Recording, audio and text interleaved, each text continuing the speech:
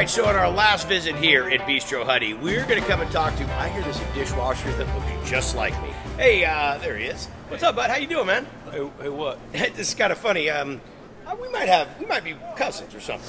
I mean, have you looked in the mirror? We kind of got the same. Where's the mirror?